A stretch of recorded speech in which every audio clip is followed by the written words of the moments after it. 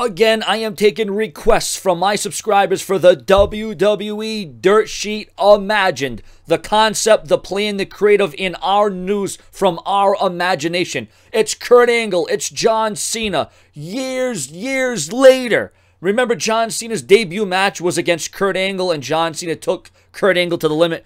Well, here we are, 2016. Kurt Angle no longer with TNA. Kurt Angle accepts the U.S. challenge of John Cena after John Cena becomes the new United States champion, and after a back and forth false finish match that could have went either way at either time. John Cena hits an AA, Kurt Angle hits the angle slam, and then after not one, not two, but three ankle locks during this entire match that went 40 minutes. Finally, the ankle lock John Cena was in. John Cena tried to battle out. John Cena tried to fight. John Cena tried to reach the ropes, but it was all about ring positioning. Kurt Angle, after having John Cena locked in the ankle lock in excruciating pain, Cena lasted longer than anybody would ever last in the ankle lock.